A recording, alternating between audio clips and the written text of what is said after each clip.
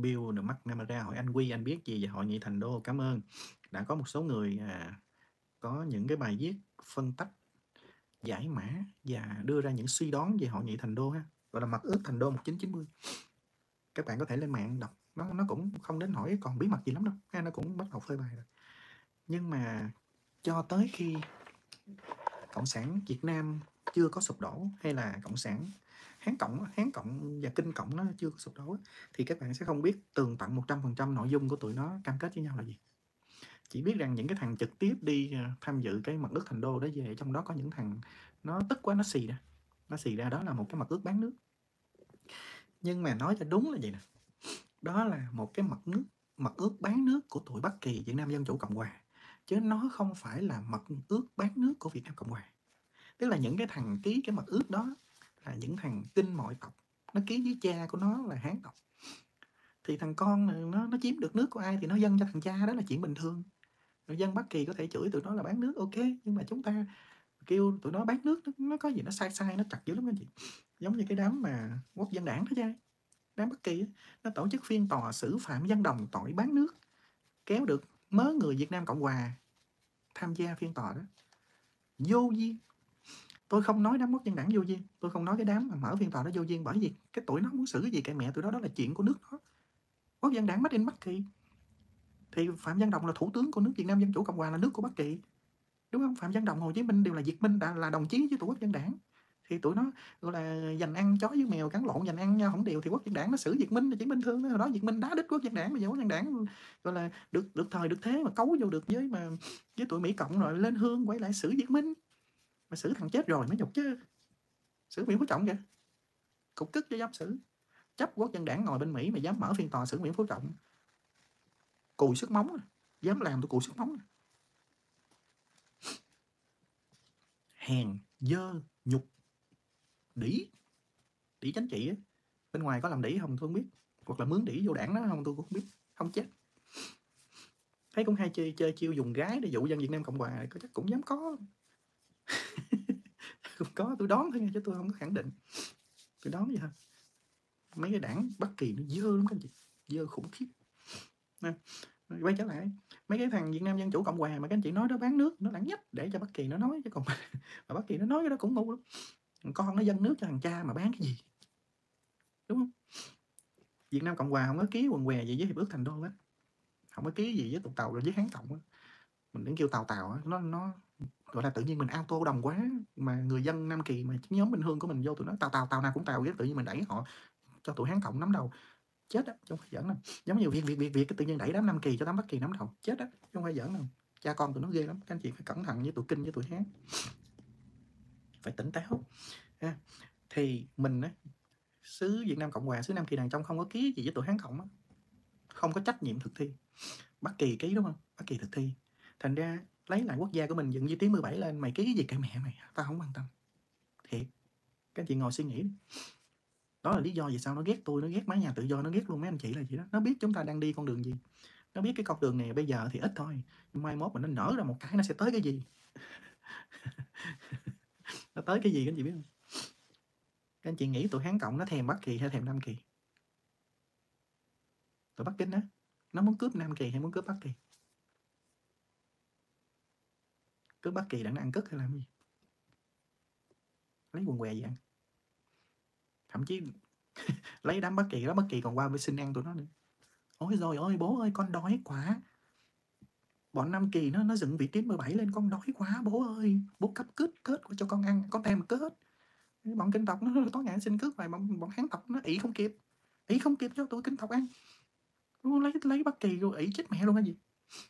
Chắc con mắt đi bẻ mà đọc muồn về nấu nước thay trà uống quá. Biết không? Ở đây ai biết nấu đọc muồn nấu nước uống thay trà không? Nói với đó bất kỳ đâu biết đâu, bởi vì nam bắc hai nhà là vậy đó. Nó biết quần què gì đâu, xứ nam kỳ. Mà đặt một nhà một nhà, còn cái đám mình, đám nam kỳ mình cứ nam bắc một nhà, tụi bay ốc cá dầu hầm. Ông bà của tụi bay hồi xưa là cá dầu hầm. Tôi nói cái gì bất kỳ nó cũng không hiểu cho nó thiệt các anh chị á các chị quay trở lại với ông bà tổ tiên, quay lại đời sống thường nhật của ông bà mình là xưa bất kỳ, nó bù chất bù chất nó cũng không biết là gì. Nó đực ra luôn.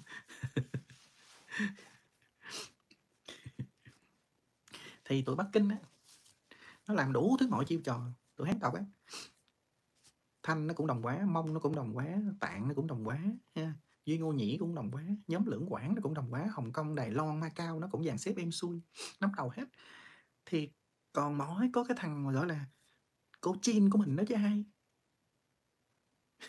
Cái gì ngồi có đúng không? Tại vì cái khát khao của tụi tụi hán á, hán tộc á, nó muốn bành trướng ở châu á là nó phải ra biển. Không ra biển không thể bành trướng được. Cái kỷ nguyên này ai nắm biển làm chùm. Mà gọi là nó nó đau đớn cho chúng ta. Đó là chúng ta nắm cái vùng biển quan trọng nhất thế giới. Mà nước mình bị xâm lược mè đó rồi. Thành ra lẽ ra chúng ta làm chùm. Bây giờ chúng ta không được làm chùm mà thuốc về chùm mền. Lạnh quá, chùm mền nó lưu dông lưu kèn, xíu giờ nó đại lạnh, chết mẹ luôn cái chùm mền. Chứ thay vì ở bển làm chùm bển rồi đó. Đừng có mấy thằng chó, xin lỗi xin lỗi loài chó, đừng có mấy thằng súc xanh thua loại súc xanh chống cộng nam bắc một nhà là bây giờ tôi với các anh chị làm chùm.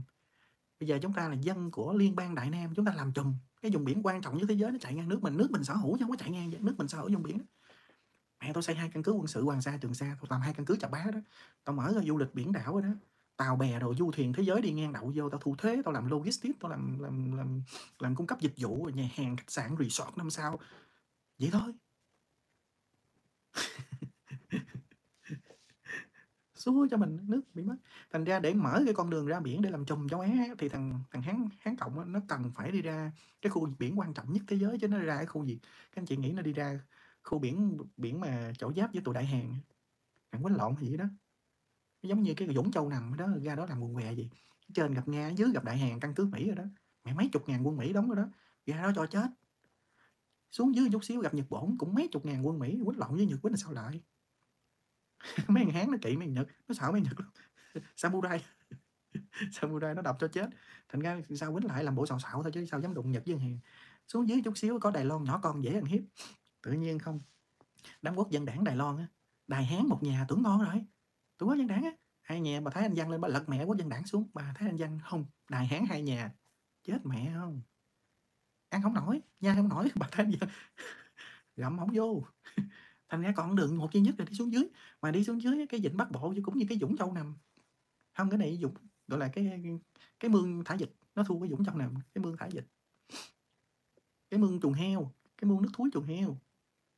Tụi nó ra đó tụi nó ăn què làm gì? Thành ra nó phải đi ra phía phía xuống dưới là Hoàng Sa Trường Sa, dưới vĩ tuyến 17 là vùng biển của Việt Nam Cộng Hòa, của xứ Nam Kỳ của mình.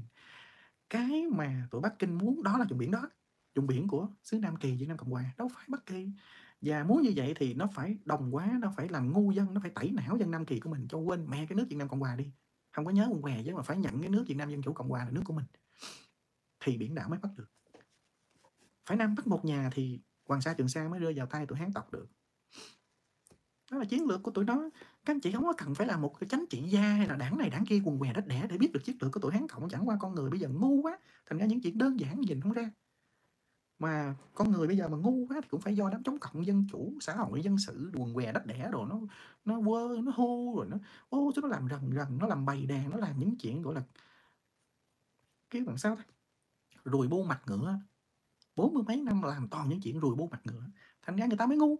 Chứ đó đất nước nào cũng vậy cộng đồng nào cũng vậy người dân người ta lo gọi là cần cù làm lụng người ta lo cuộc sống người ta lo gia đình người ta xây dựng xã hội vậy là được rồi đó là sứ mạng của người ta mà. Thì để đối phó với những chuyện mang tính chiến lược mang mang tính uh, vĩ quan mang cái tính mà mà gọi là chánh trị chính em chẳng hạn gì đấy thì cần phải có những người gọi là tầng lớp tinh anh của quốc gia. Quốc gia nào cũng phải có tầng lớp tinh anh mà cái tầng lớp tinh anh của quốc gia nó trông cậy vào đâu?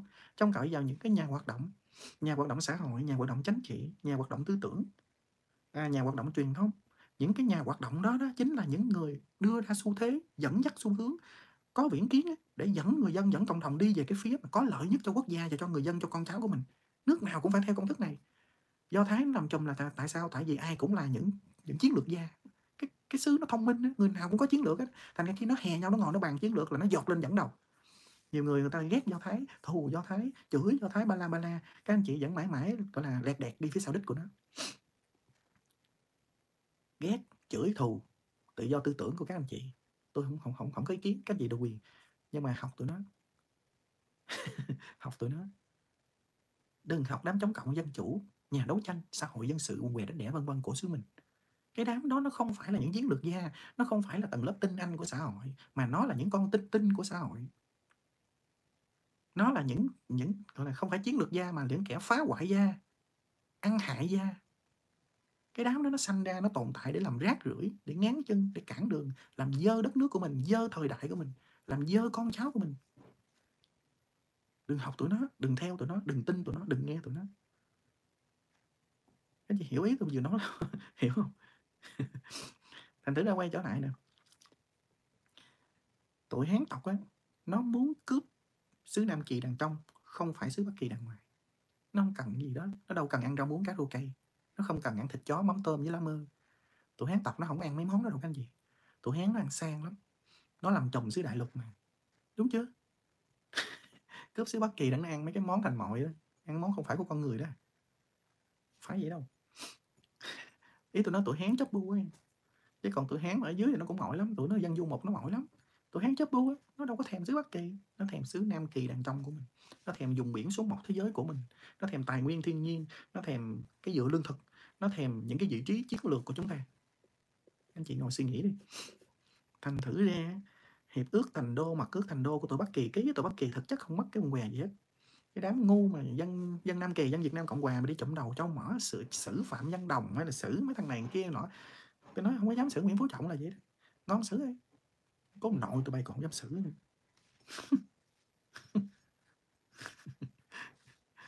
Làm những chuyện rùi bu mặt ngựa. Để làm chi anh chị biết không? Để cho kéo cái sự quan tâm của dư luận, của người dân, của trí thức, của tinh anh Việt Nam Cộng Hòa đi theo tụi nó. Đi theo tụi nó hoài mấy chục năm. Mà theo riết thì sao? Nước mình chết luôn. Nó tuyên bố nước mình chết rồi đó. Dân mình chết luôn. Tụi hán nó đồng quá cả đại lục được, các chị nghĩ rồi đám ngu kiểu đó làm sao chống lại tụi hán đồng quá nam kỳ? Thế nào? Tại sao dưới nam kỳ phải bị bắt quá các chị biết không? Tụi bắc kỳ nó biết, nó áp dụng chính sách đồng quá mình là bị chống dữ lắm, nó biết. Thà nó nới nới ra thôi mà người dân nam mình tưởng nam bắc một nhà vậy mà bắc kỳ nó vẫn hút máu được, còn nó siết á, thì tụi bắc kỳ nó biết người dân mình chống đó. nhưng mà nó bắt buộc phải thực hiện chính sách đó bởi vì bắc kinh ra lệnh. Tại vì không bắt quá được thì làm sao hán quá phải bắt quá mới hán quá được. Tại bắc kỳ là gì? Con quan của bắc kinh. Thành ra nếu như nam kỳ không bị biến thành bắc kỳ thì nam kỳ không bao giờ làm con quan của bắc kinh được.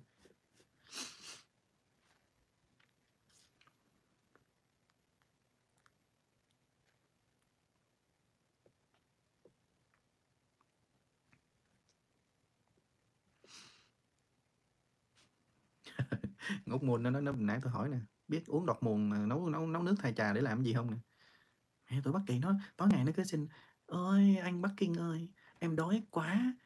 Bọn nam kỳ nó khốn nạn, nó xây bức tường vị tiến 17 lên, nó build the wall rồi em đói quá, không có gì để ăn. Anh làm ơn anh Ford ra một ít, một bô cho em ăn.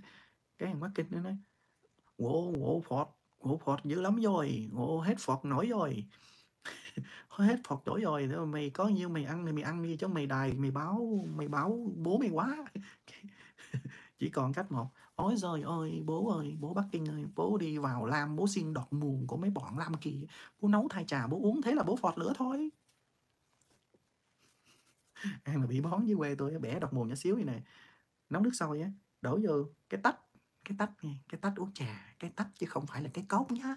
Càng không phải là cái chén nha. Cái chén là để ăn cơm, không có cái chén là uống trà nha. Chỉ có ngu ngục mọi rợ mới dùng cái chén uống trà nhé cái tách uống trà đổ nước sôi vô bỏ độc mùn vô quậy quậy quậy quậy quậy quậy quậy, quậy, quậy lên chừng một hai phút sau vô vừa ngồi ngồi cho nó uống một cái cho rồi nó chạy cho mà coi. Đừng có nói chữ bón với muộn. Đừng có nói chữ bón với muộn. Nó chạy qua bữa sau nó còn chạy.